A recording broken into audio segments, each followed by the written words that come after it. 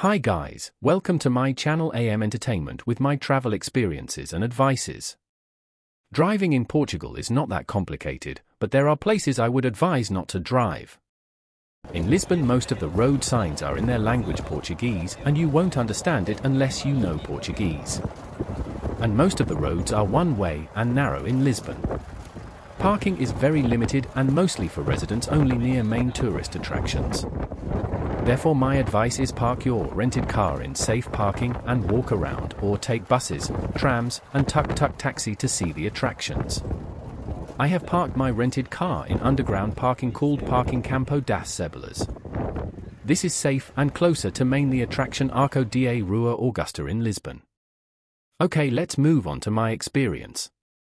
I've been to Algarve, southern sunny hot part of Portugal in February 2024.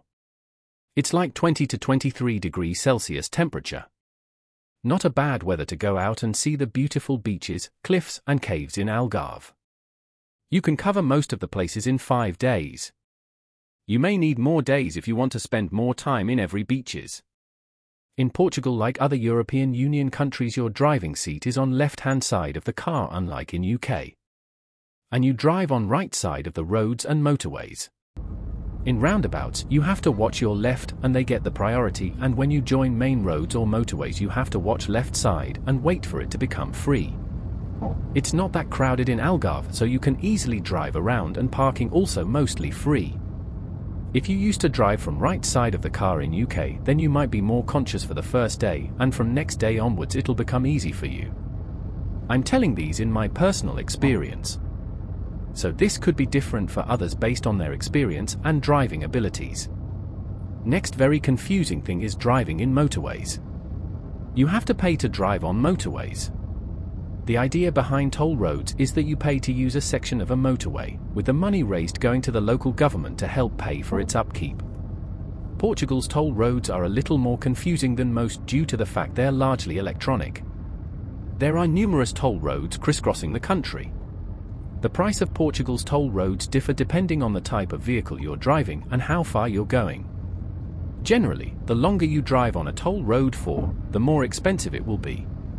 For me to drive from Algarve to Lisbon using the A2 toll road cost me around £16 in tolls. Luckily, for every toll road in Portugal, there's usually another route you can use that'll be completely free of charge. Be warned though, the toll-free roads are not as well maintained and are usually longer routes. If you've got the time, then they can be great options and perfect for viewing more of Portugal's stunning rural scenery. If you live in Portugal, then the vehicle number plate is linked to your bank card, accepted on the MasterCard, Visa, or Maestro networks. Whenever the vehicle passes a toll reader, the toll fees are later directly debited from the account linked to the bank card. Alternatively, you can pay tolls by going in person to a CTT post office, a post office with Nave or a PayShop agent. You can also pay by Multibanco reference, through the CTT website or app. Don't forget that you can only pay tolls 48 hours after you have passed through the electronic toll and up to a maximum of 5 working days. If you are a visitor using motorways in Portugal in your personal car registered in UK of other countries, no worries, you still have a few options when it comes to toll payments. One of the easiest is to buy a toll card from a local post office, tourism office, service station or an easy toll welcome point. You'll add prepaid credit to it and then activate it over text message. If you are a visitor and using motorways on a rented car the best and easy option is to rent a gadget called Via Verde Transponder from the car rental company. It's probably 2 euro per rental day. This will automatically detect every toll motorway in Portugal and charge from your registered credit card automatically.